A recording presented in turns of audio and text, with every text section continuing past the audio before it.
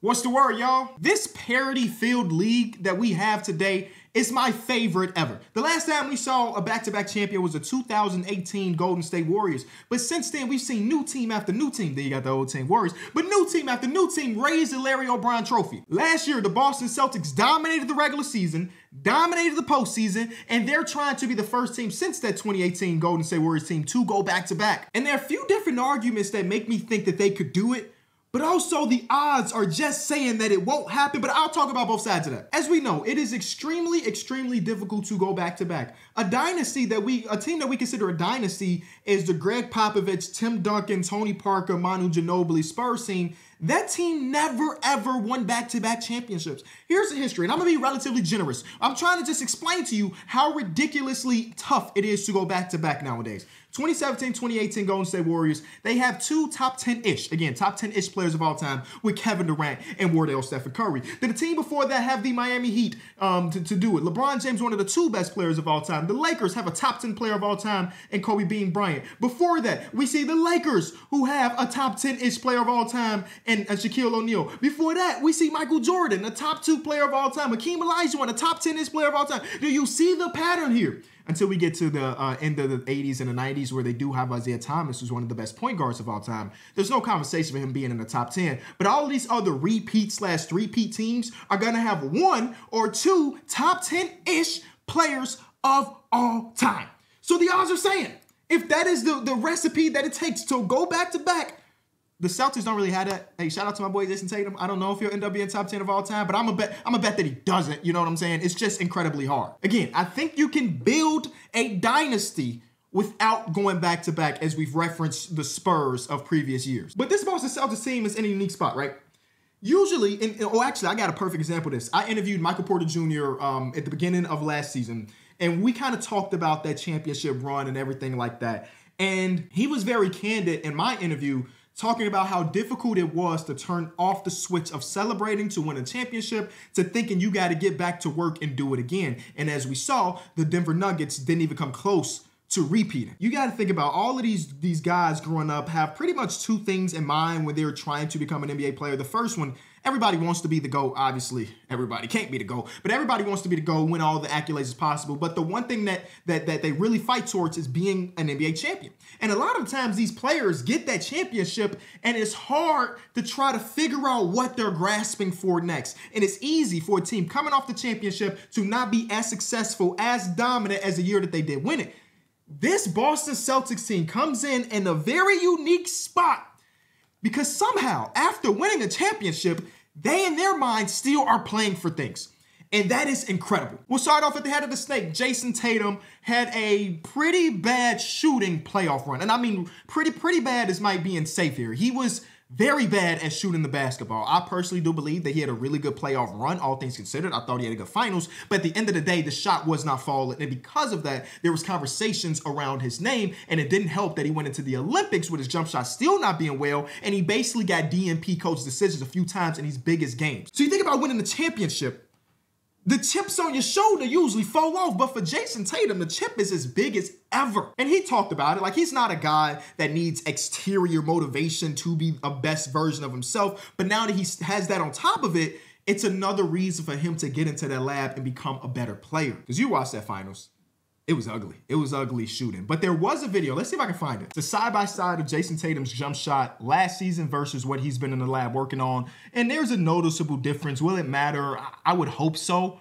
Um, but he he lost his fluidity. I think the biggest Celtics fans in the world would kind of tell you that the way he shoots the ball now is a lot different than when he was a young player, which makes sense. I mean, Jayson Tatum's put up so, on so much muscle since he first came into the league, and as we see, once you put on that muscle, your mechanics shift dramatically, and it looks like he's closer to shooting uh, mechanically than he did in his younger years, and I think that's that's a really good thing because last year, for the most part, Jayson Tatum was a good shooter. He's historically been a good shooter. This is the biggest I can make this image, by the way, so please bear with me.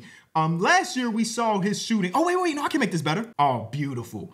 Um, last year we saw his shooting completely, completely drop off. Where for the most part, you think about October through January, he was sitting, let's say we average all of these out, 36, 37% from three. He gets to March, he is hot. He is hot in March. He's shooting 46%. And then April hits. And something happened in April where his jump shot completely falls off. And the playoffs, it's it's atrocious. And then in June, it's just as bad. But luckily, again, the team is so well put and they still win the championship regardless. I don't believe if they want to win this championship that you can have this level of drop off for Jayson Tatum's jump shot come the postseason because teams should be healthier next year and teams are just better in the Eastern Conference now, whether it be the 76ers adding Paul George or I guess the Knicks adding uh, Karl-Anthony Towns or I mean we can go on and on. It seems like a lot of these teams that they competed with last year are better on paper, so they can't afford for their star player to shoot this bad time and time again. And I don't if you if I was a betting man which uh, sometimes I am, I would bet that he does not see this crazy amount of regression in the regular season and next year's postseason. But that's just me. So, so they have this extra chip on their shoulder. That's just the Jayson Tatum part of it. And then you'll get the Jaylen Brown part of it, which also stems from the Olympics, where he felt some type of way about them not giving him a call once Kawhi Leonard was out. They instead go to his teammate Derrick White. Derrick White plays pretty damn good in the Olympics, but for the most part, Jaylen Brown still took that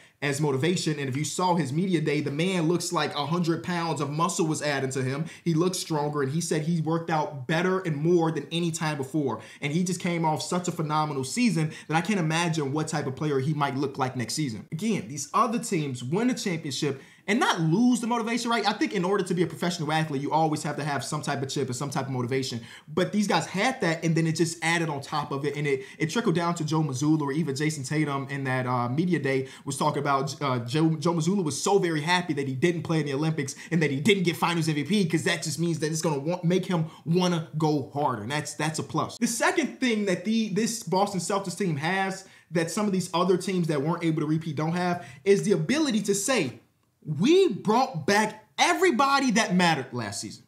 That's huge.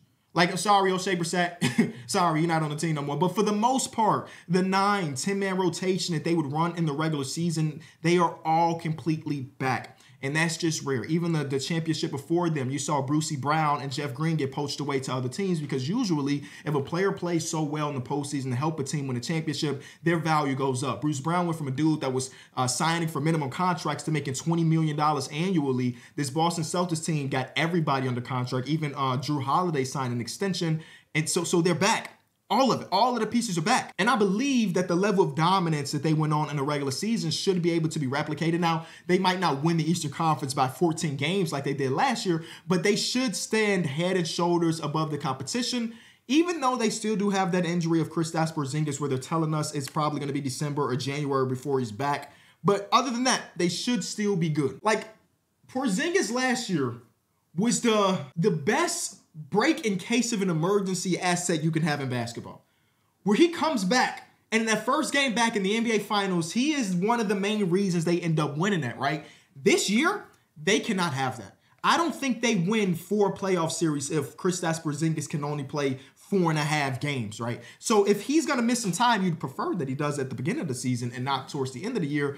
But he needs to be completely healthy. Again, you were able to coast through, dominate all these other teams, even when Porzingis was out that will not be the case this year. So Porzingis' health is one of the biggest X factors for them being able to repeat. And In the regular season, I, am not gonna overblow it. Like I do believe that even though Al Horford's a million years old, that he'll be able to hold it down. I do believe in Xavier Tillman's being able to. We're talking about the regular season at the end of the day. Xavier Tillman being able to play regular season minutes and be productive. Luke Kornet, who turned himself from a stretch big to I don't shoot threes at all, other than that one. I think he'll be able to hold down spot minutes. But I also am pretty interested in the Tatum at the five minutes as they ran that a little bit last year. And I always like that idea because Tatum is, again, such a great defender and a great rebounder, too. Now, in the postseason last year, they played a total of 10 minutes without a true center slash Al Horford on the court. Um, it had a net, a net rating of a minus 50. so, um, not not the best. I would love to go rewatch those minutes because it doesn't tell me what series this was or what the situation is. Uh, but still, I trust that Mazzulla will be able to run some of these smaller ball lineups. Let me see what it look like in the regular season. How about that? Because again, I think you need Porzingis to win a championship in the postseason. So I'm thinking about just being able to maintain greatness in the regular season. So let me see how many minutes we can get it at. All right, scrap that, dog. Don't put Jayson Tatum at the five. According to last year's numbers, don't put Jayson Tatum at the five because this other lineup of Jrue Holiday, uh, Jaylen Jaylen Brown, Jayson Tatum, Derrick White and Payton Pritchard has a net rating of minus 65. It's only five minutes and eight total games. So they, I don't know what the context is here. I got to go watch the film more than anything, but the numbers are not in favor of that. But I'm, I'm going to not care about the numbers and say that Tatum should play at least a little bit of five uh, in this regular season. Or we might see, what's the guy's name? Queta? Could Queta, could come in and break to the rotation and run some some five? I don't really know. But I honestly do believe there's a chance when you have these top two dudes up top. And and now I like I don't really care about player rankings, right? On our podcast, we do ranking every position every single season, but I don't really enjoy doing it all the time. I do that more for content. It's it's become increasingly harder to figure out where Jaylen Brown ranks in the hierarchy of the NBA. Is he the 13th best player or is he the 23rd best player? Is he somewhere in between? I don't really know. But when you have these these two top dudes and when they're they're going, it's gonna be just hard to stop. Now there are some teams out east that have geared themselves up to guard the two big wing thing because I do believe that one of the main things about the, the Boston Celtics success is that it's almost impossible to build a team to guard both of them. Usually these teams have one big defensive wing guard and that's it. Aaron Nesmith, you either get Tatum or you get Jaylen Brown, and the other one's gonna cook because we don't have an answer for him. Like the Knicks have two of the best wing defenders in basketball. I can't wait to see if we see that type of series and what that could look like. One of my favorite things about the Boston Celtics season um, was watching Jrue Holiday shift his game completely. Again, once they acquired him, I thought they were gonna win the championship, but I didn't expect him to um, changed his game so dramatically. Where last time we saw him with Milwaukee, he again was his primary ball handler, setting everybody up. He created for himself more than any time. And then once we got to the Boston Celtics, it took about a month or so. But once he was into that role, he was basically the best connector in basketball. Where it was actually, I may have find some stats. Hold on. This article was called Jrue Holiday's Celtics Roll Through the Numbers um, shout out to Azad Ro- Rose. I'm sorry if I'm mispronouncing that, but here, here are the numbers. Where you can see last time he played in Milwaukee, his pull up, this is what I'm just gonna call self created three point shots. He's taking 4.3 a game, and he very rarely was a catch and shoot player. And as you can see, in his first year, uh, first month with the Boston Celtics. Of course, all his volume is going to go down because he's no longer like the second most important player, but he still was creating his own three point shots. And then eventually it flipped once we got to January. And this is where he turned himself into one of the best catch and shoot players in ball. We was taking three a game and only two pull ups and so on and so forth. Then we get to April where it was uh, 2.7 to 2. That's huge. Like he, again, shifted his game completely. And Jrue Holiday has been a hit or miss per playoff performer, right? I remember when he was traded away to the Boston Celtics, there were Milwaukee Bucks fans saying, good luck. We've seen him shoot uh, four of 17. I may be exaggerating. We've seen him have pretty pretty stinky playoff games here or there, but that was under the assumption that his role would be the same. And now that his role has shifted, where offensively, he's what? If everybody's healthy, he's the fourth, maybe fifth most important offensive player on the team. That's crazy to think about. We're talking about Jrue Holiday here. And then we talk about him not being overtaxed as a player come postseason. Like this first playoff series against the Heat, he was stinky. I didn't realize he shot 35% with seven points per game. Then after that, we get to the second round versus Cleveland. He's 13 points per game, 50 40. He's 18 points per game in the conference finals in that sweep where he's 58 and 40. And then in the NBA finals, he's 14 points per game. Like these numbers are because his role dramatically shifted where he's not looking to create for himself and Giannis and Khris, but instead, I'm going to defend my ass off and take what the defense gives me. I mean, some of these games in the playoffs, brother was sitting in the dunker spot waiting for his opportunity, like Bruce Brown of the year before that. So it was it's so cool to see players who, again, has been a two-time All-Star in his career, just turn himself to the ultimate role player. And we talk about ultimate role player, we got to mention the name Derrick White because that's the thing that this man has been doing for years.